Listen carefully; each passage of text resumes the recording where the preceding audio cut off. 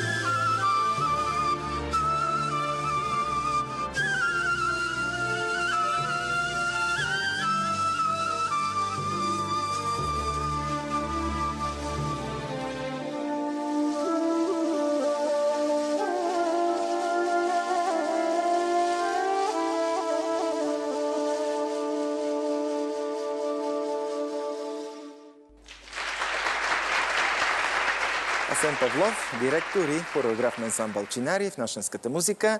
Добре дошли отново.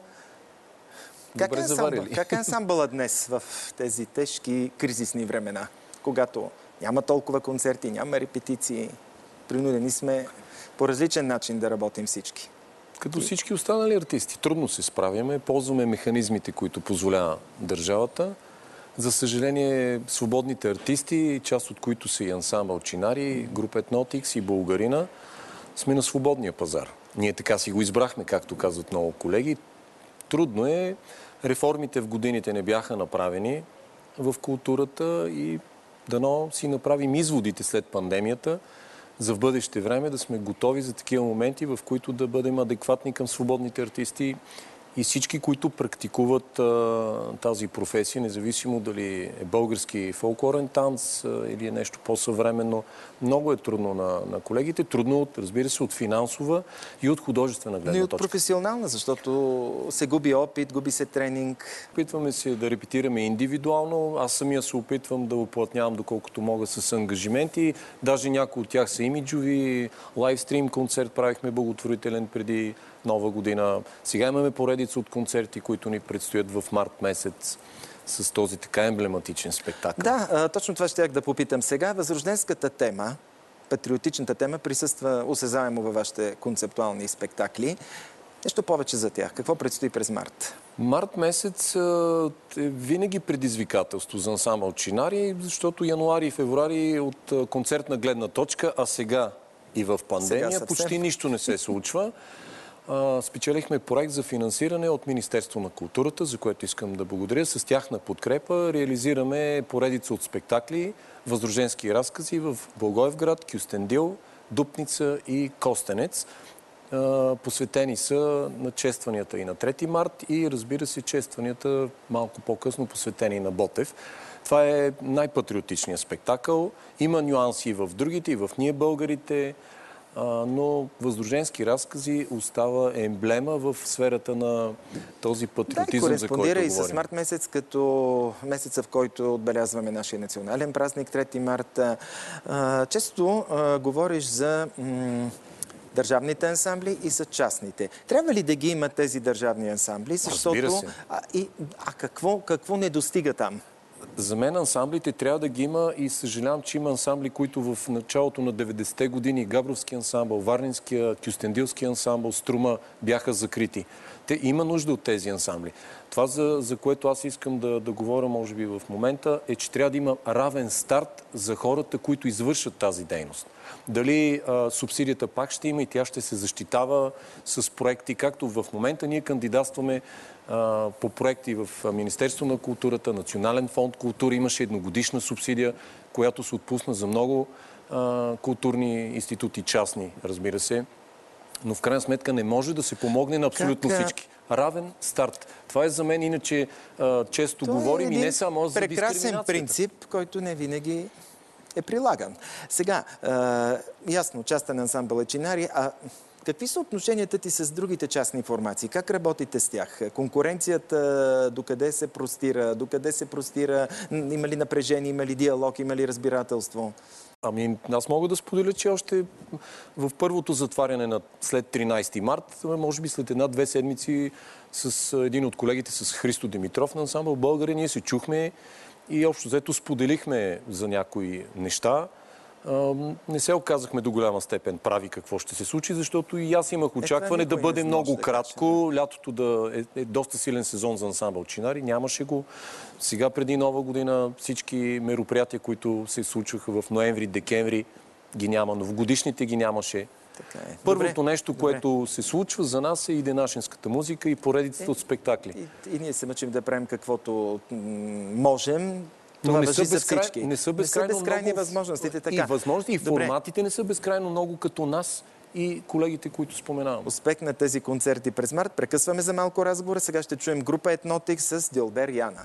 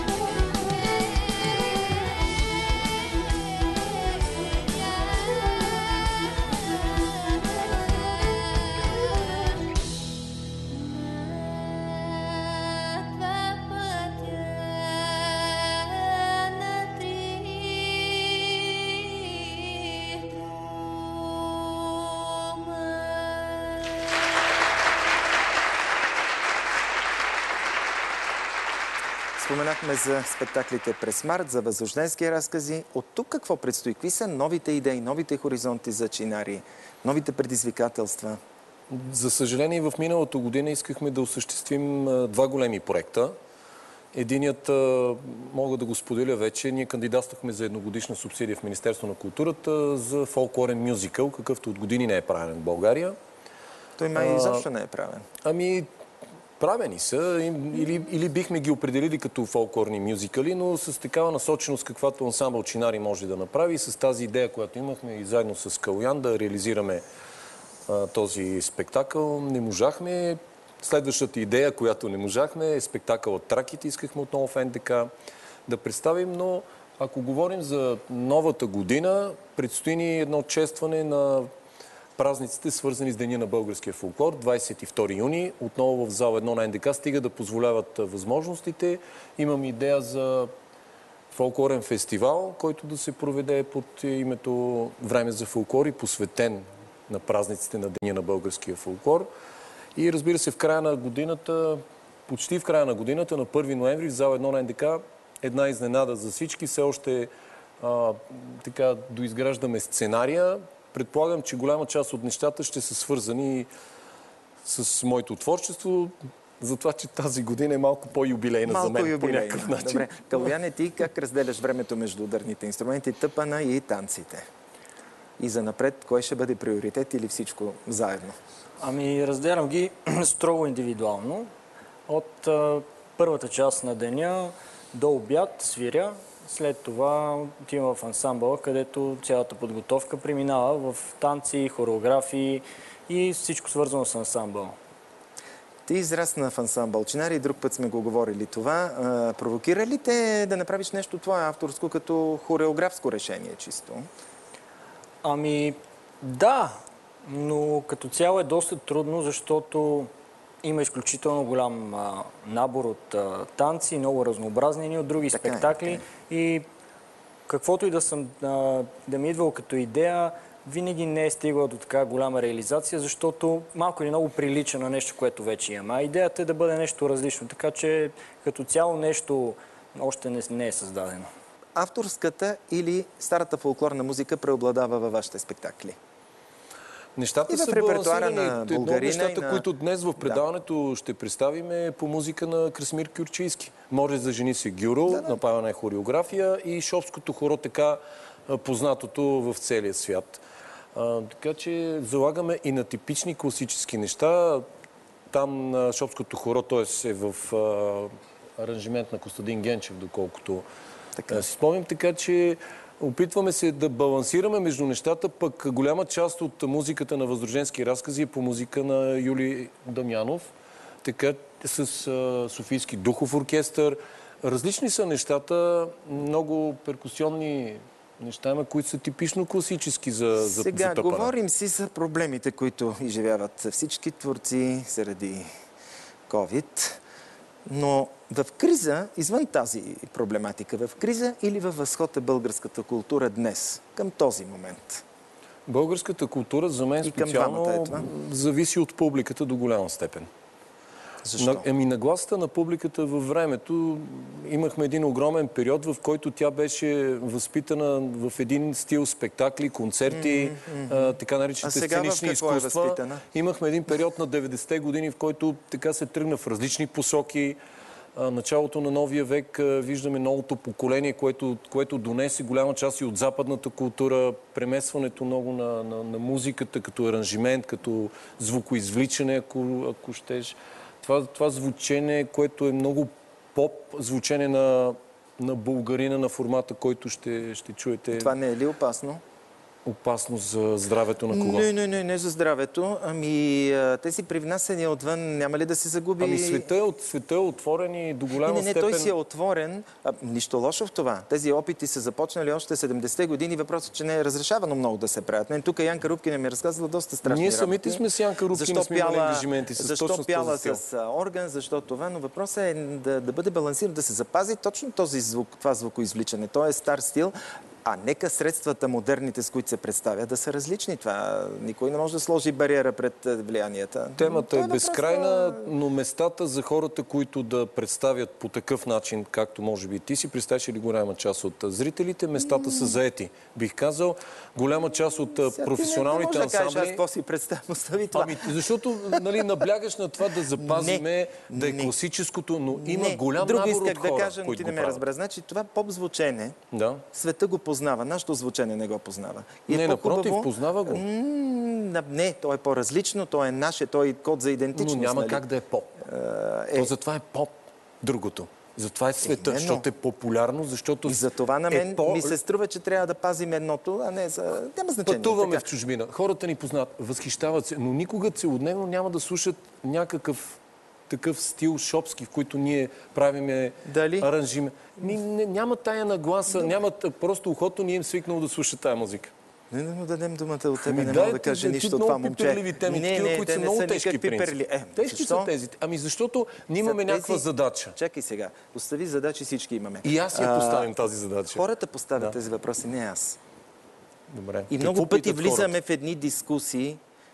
Може ли така, така ли трябва, макар че защо да може? свободата е е в закон, няма закон за няма рамки, точно така. Ми и да, това се опитвам и аз да кажа, но хората са са ревниви, смятат, че трябва да се... Стереотип, обаче зрителя не може да му кажеш, е, това е стереотип и това не е. предавания, Ти го каза и за публиката. с- Ето я.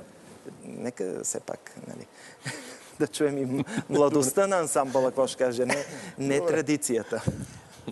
Ами, според мен всичко е като цяло един кръг. Поне това, което аз наблюдавам.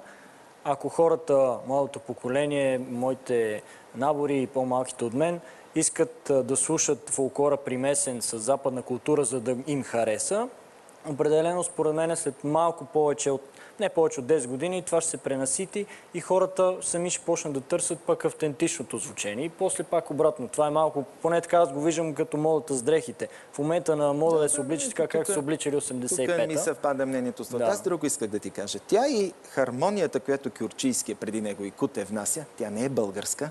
Да. Нямаме такова нещо в традицията, но е запазен о, първообраза на песента, стила, звука. За това говорихме. Нека тези по-модерни средства да влизат, но не за сметка на Представиш си, че Идентичния днес код, това исках аз да е- кажа. един такъв гений като Кюрчийски. Днес се ражда.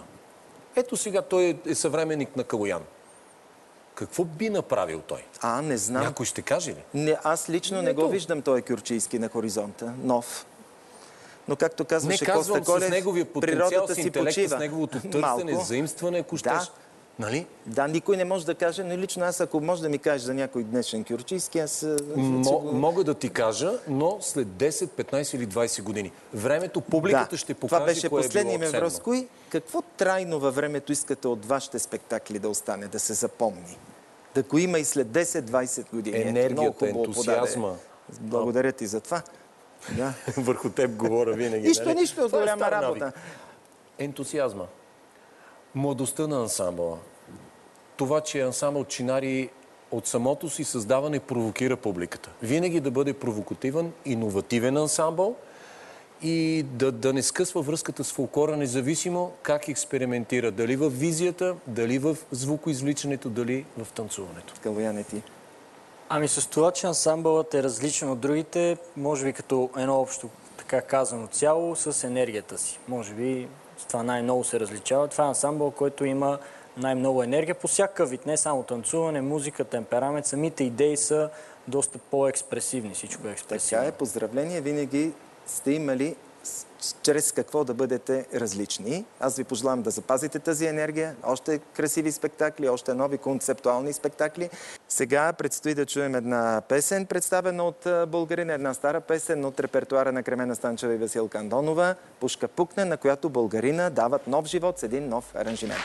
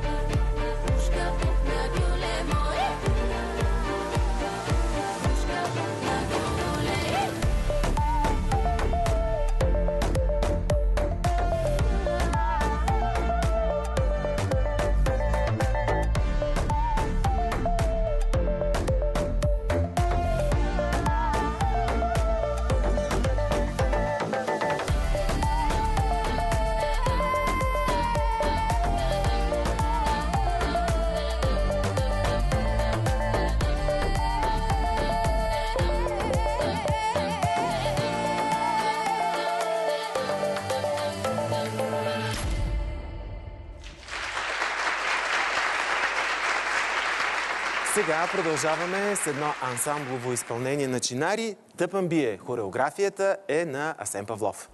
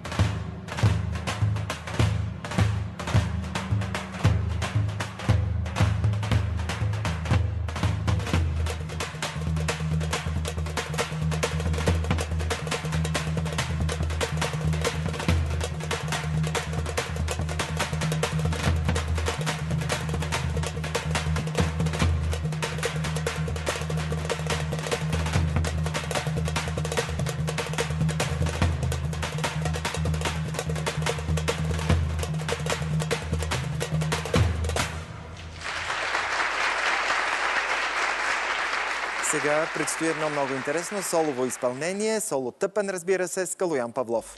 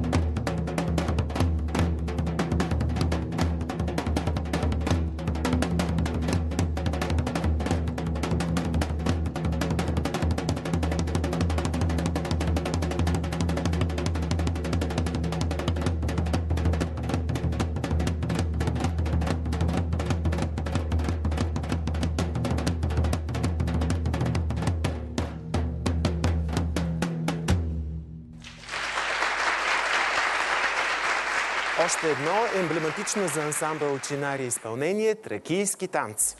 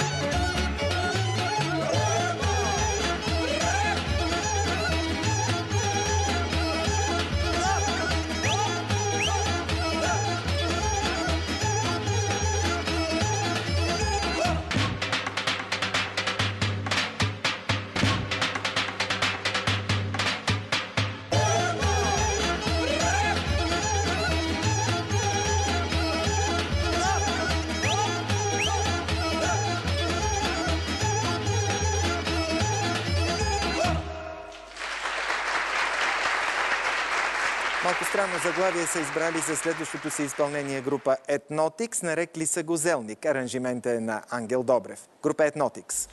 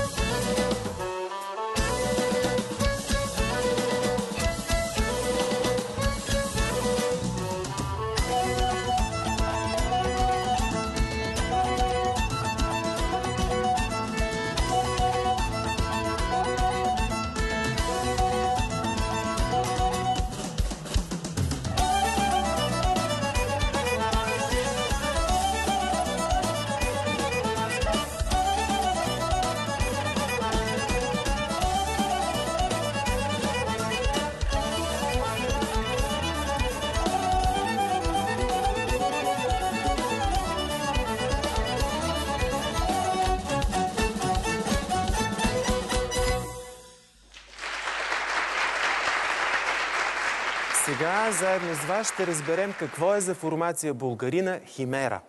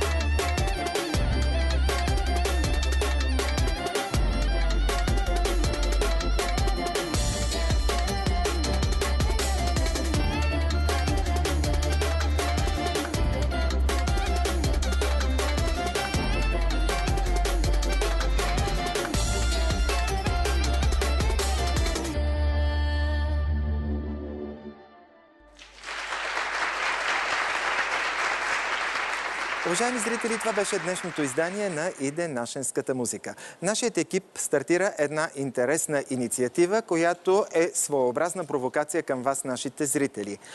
От следващата седмица в страницата ни във Фейсбук ще можете да гласувате за любимата песен на вашия род. Или коя е любимата песен на моя род. Тези песни, които съберат най-много точки, ще можете да чуете тук на живо в студиото на Иде Нашенската музика, изпълнени от ваши любими изпълнители. Така че Гласувайте за любимата песен на вашия род. Ние завършваме с Шопско хоро на ансамбъл Чинари. Довиждане до следващата събота.